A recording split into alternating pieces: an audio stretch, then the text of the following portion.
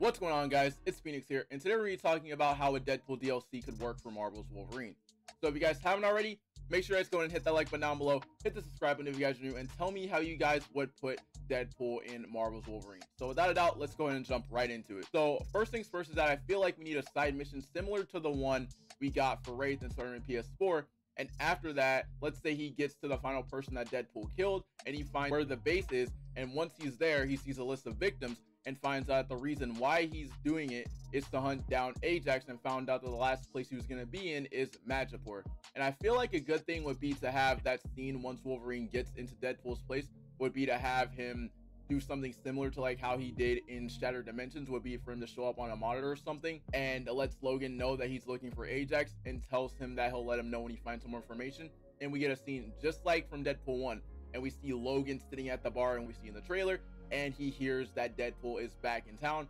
And Deadpool tells Wolverine why he's going after Ajax. And I also think a really cool thing is for Ajax to also know about Wolverine since he might have some connection with somebody that's going to be going on in the main game or the main story that Wolverine fought and he knows about it because of that. Now, as for boss fights, we need to see Deadpool and Wolverine fight. And I think a great way to make them fight would be if Deadpool wanted to get revenge because Ajax killed his girlfriend or found out that there was a cure for him and Logan tells him that it's a lie and they start fighting over it and Ajax takes that time to run away while they're fighting and then at the end of the DLC they fight Ajax and Ajax tells him that it was a lie and that there isn't a cure and they kill him together.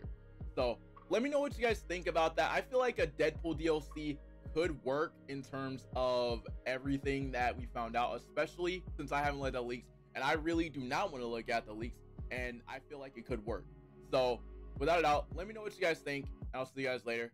with another